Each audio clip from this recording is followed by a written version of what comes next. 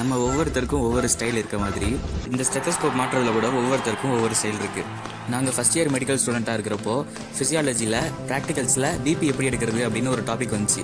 அதுக்கு நாங்கள் ஒருத்தர் இன்னொருத்தருக்கு பிபி எடுக்கணும். எடுத்து சரியான ரீடிங் சொல்லி அதை பர்ஃபெக்டாக பண்ணோன்னா அதை வச்சு எங்களுக்கு கிரேட்ஸ் கொடுப்பாங்க. அப்போ வந்து பிபி எடுக்கிறதுக்கு ஒரு ஸ்டெத்தோஸ்கோப்பும் ஒரு பிபி மிஷினும் தேவைப்படும். அந்த ப்ராக்டிக்கல்ஸ் டைமில் நாங்கள் என்ன பண்ணுவோம்னா அந்த ஸ்டெத்தோஸ்கோப்பை ரெண்டு கையால் தூக்கி கழுத்தில் அழகாக வச்சு பூ போல் ஹேண்டில் பண்ணுவோம்.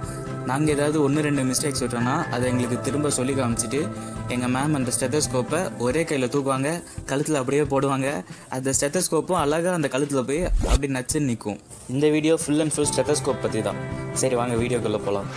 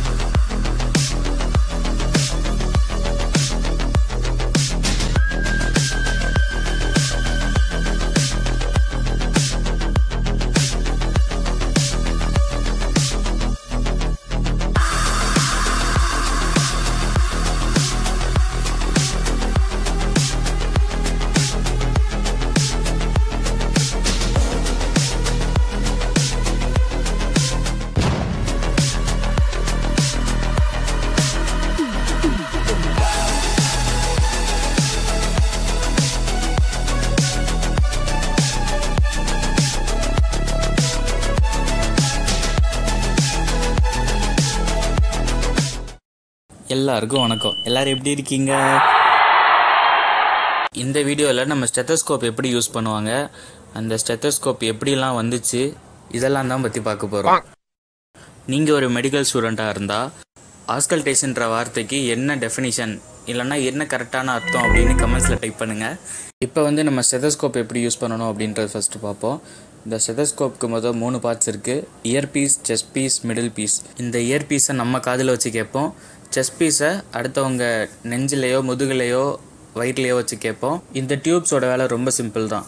அந்த செஸ் பீஸ்லேருந்து நம்ம இயர் பீஸ்க்கு சவுண்ட்ஸை கொண்டு வர்றது மட்டும்தான். சரி ஃபஸ்ட்டு ஒரு ஸ்டெத்தஸ்கோப்பை கையில் எடுத்துக்கோங்க.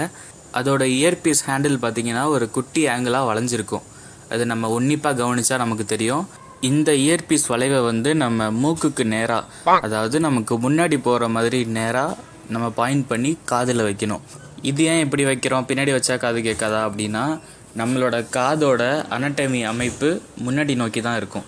அதனால நம்ம அப்படி வச்சாதான் நமக்கு சரியான சத்தங்கள் கேட்கும்.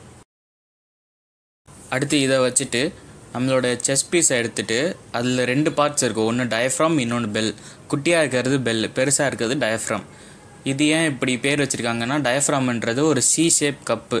நம்மளோட நெஞ்சுக்கும் வயிறுக்கும் இடையில இருக்க ஒரு பகுதி பேர் டயஃப்ராம் அந்த அமைப்பு எப்படி இருக்குன்னா ஒரு டிஃபன் பாக்ஸ் கப்பை வந்து கமுத்தி வச்ச மாதிரி இருக்கும். இது வந்து ஹை ஃப்ரீக்வன்சி சவுண்டை வந்து கேப்சர் பண்ணிக்கும். நம்மளோட ஹார்ட் வந்து ஹை ஃப்ரீக்வன்சி சவுண்ட் கொடுக்கும்.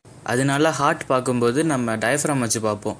இதே பெல் எதுக்கு யூஸ் பண்ணுவாங்கன்னா அந்த பெல்லையும் மேலே இருக்க அந்த மூடி எடுத்துட்டிங்கன்னா அது ஒரு பெல் ஷேப்பில் இருக்கும். இது வந்து லோ ஃப்ரீக்வன்சி சவுண்டு மெஷர் பண்ணுறதுக்கு யூஸ் ஆகும்.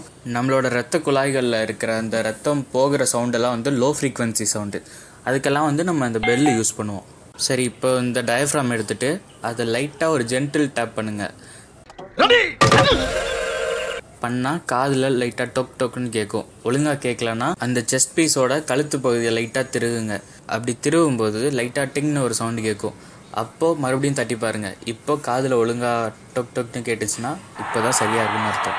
இப்போது இந்த செஸ் பீஸை வந்து உங்களோட செஸ்ட்லேயோ இல்லாட்டி உங்களுக்கு ஆப்போசிட்டில் இருக்கவங்களோட செஸ்ட்லேயோ வச்சு கேட்டு பாருங்கள் ஹார்ட் சவுண்ட்ஸ் வந்து லப் டப்னு கேட்கணும் உங்களுக்கு.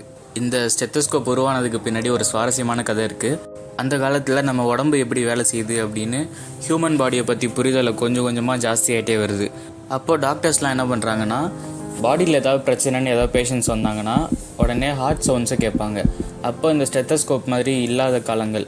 அப்போது ஒருத்தர் இன்னொருத்தரோட ஹார்ட் சவுண்டை கேட்குறதுக்கு அவங்களோட நெஞ்சில் காதை வச்சு கேட்பாங்களாம். அப்படி கேட்டாலே வந்து ஹார்ட் சவுண்ட்ஸ் எல்லாம் கேட்குமா இது காலங்காலமாக இப்படியே வந்திருக்கு. டாக்டர் ரேனி லினாக்னு ஒருத்தருக்கு இது கொஞ்சம் அன்கம்ஃபர்டபுளாக இருக்குது ஒரு மேல் பேஷண்ட் வந்தாலும் அவரோட செஸ்ட்டில் காதை வச்சு கேட்குறது ஒரு ஃபீமேல் பேஷண்ட் வந்தாலும் அதே மாதிரி அவங்க செஸ்ட்டில் காதை வச்சு கேட்குறது அதனால அவருக்கு இது பிடிக்கல. ஸோ இவர் என்ன பண்ணுறாரு ஒரு பேப்பரை வந்து சுற்றுறாரு சுற்றிட்டு அவங்களோட நெஞ்சில் அந்த பேப்பரோட முனையை வச்சுட்டு இன்னொரு முனையை வந்து இவரோட காதில் வைக்கிறாரு. அப்போ என்ன பண்ணுது? அந்த சவுண்ட்ஸை அப்படியே கேட்க ஆரம்பிக்குது. ஸோ அவருக்கு புரிய ஆரம்பிக்குது. நம்ம காதை ஸ்ட்ரைட்டாக வச்சு கேட்காம இப்படி வச்சாலே நமக்கு சவுண்ட் கேட்குது அப்படின்னு. அப்போ தான் அவர் முதல் முதல்ல ஒரு ஸ்டெத்தஸ்கோப்பை ரெடி பண்ணுறாரு ஸோ அவரோட மொழியில் ஸ்டெத்தோஸ்கோப் அப்படின்னா ஸ்டெத்துன்றது நெஞ்சு. ஸ்கோப்னா அதை எக்ஸ்ப்ளோர் பண்ணுறது ஸோ நம்ம நெஞ்சில் இருக்க உறுப்புகளை எக்ஸ்ப்ளோர் பண்ணுறது தான் ஸ்டெத்தோஸ்கோப் இவருக்கு அடுத்தது Golding Bird Arthur Leared George Philip Cammann Jacalyn Duffin இவங்க மூலமாலாம் ஸ்டெத்தோஸ்கோப்பு கொஞ்சம் கொஞ்சமாக வளர்ச்சி அடைஞ்சிக்கிட்டே இருக்குது. நம்ம ஃபஸ்ட்டு ஃபஸ்ட்டு அது வந்து ஒரு மோனோ ஓரலாக இருந்திருக்கு. அதாவது ஒரே ஒரு காதில் மட்டும் வச்சு கேட்குற மாதிரி அதுக்கப்புறம் ரெண்டு காதில் வச்சு கேட்குற மாதிரி அப்புறம் அந்த செஸ்ட் பீஸ் ரெண்டு செஸ்ட் பீஸாக இருக்க மாதிரி அதுக்கப்புறம் இப்போ லாஸ்ட்டாக டேவிட் லிட்மன் கண்டுபிடிக்கிற அந்த ஸ்டெத்தஸ்கோப் தான் நம்ம இப்போது எல்லா பக்கமுமே வந்து மோஸ்ட்லி யூஸ் பண்ணிக்கிட்டு இருக்கோம். ஸோ இந்த டேவிட் லிட்மன்றவர் வந்து ஒரு ஹார்வர்ட் மெடிக்கல் பல்கலைக்கழகத்தில் ஒரு ப்ரொஃபஸராக இருக்கார். இவர் தான் ஃபஸ்ட்டு ஃபஸ்ட்டு ஒரு டியூனபிள் ஸ்டெத்தஸ்கோப் கொண்டு வராரு இப்போது அந்த ஸ்டெத்தஸ்கோப் ஒழுங்காக கேட்கலன்னா அதை கழுத்தை திருவி லைட்டாக டேப் பண்ணுங்கன்னு சொன்னேன்ல அதை ஃபஸ்ட்டு ஃபஸ்ட்டு கண்டுபிடிச்சதே இவர் தான். இந்த திருவருதை வந்து ஒரு இசட் ஆக்சிஸில் வச்சுருக்காரு. எப்பயும் ஒரு கிராஃப் வரைஞ்சோன்னா நம்ம எக்ஸ் ஆக்சிஸ் ஒய் ஆக்சிஸ் மட்டும்தான் வரைவோம். இசட் ஆக்சிஸ்ன்றது அந்த எக்ஸுக்கும் ஒய்க்கும் இடையில இருக்கிறது தான் இசட் ஆக்சிஸ் ஸோ இந்த ஆக்சிஸில் வந்து அந்த டிப்பை ப்ளேஸ் பண்ணியிருக்காரு. ஒவ்வொரு மெடிக்கல் காலேஜ் கனவோட இருக்கிற டுவெல்த்து ஸ்டூடெண்ட்டும் மெடிக்கல் காலேஜ் என்ட்ரானோட்டி பெருமையோட கழுத்தில் போட்டுக்கிற இந்த ஸ்டெத்தோஸ்கோப்பு இதை பற்றின ஒரு இன்ஃபர்மேஷன் கொடுக்குறதுல எனக்கு ரொம்ப சந்தோஷமாக இருக்குது ஸோ இந்த வீடியோ உங்களுக்கு பிடிச்சிருக்குன்னு நினைக்கிறேன். நான் வீடியோவோட ஸ்டார்டிங்கில் ஆஸ்கல்டேஷன்ற வார்த்தைக்கு என்ன அர்த்தம் அப்படின்னு கேட்டிருந்தேன். அதோட மீனிங் இப்போ பார்ப்போம். லத்தீன் மொழியில் ஆஸ்கல்டரே அப்படின்னா லிசன் டு அப்படின்னு அர்த்தம். அதாவது ஜஸ்ட் கேட்குறது ஆஸ்கல்டேஷன்னா கேட்குறது அவ்வளோதான் இது நம்ம ஏஎஸ்எம்ல வரும்போது ஆஸ்கல்டேஷன் பால்பேஷன் பர்கஷன் அப்படிலாம் சொல்லி பயமுறுத்துவாங்க.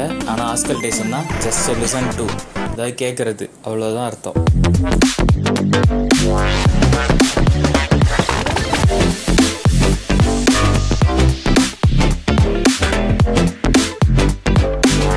இந்த வீடியோ உங்களுக்கு பிடிச்சிருந்துச்சுன்னா லைக் பண்ணுங்கள் ஃப்ரெண்ட்ஸ் கூட ஷேர் பண்ணுங்கள் கமெண்ட் பண்ணுங்கள் சப்ஸ்கிரைப் பண்ணுங்கள் தேங்க்யூ